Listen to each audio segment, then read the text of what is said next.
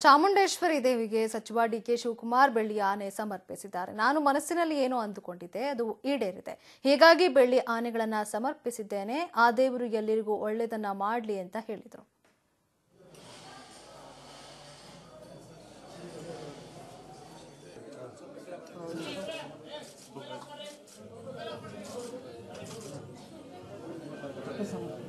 ಅದಕ್ಕೆ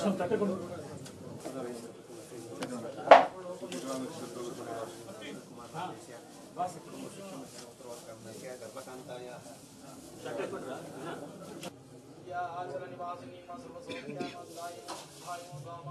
do it.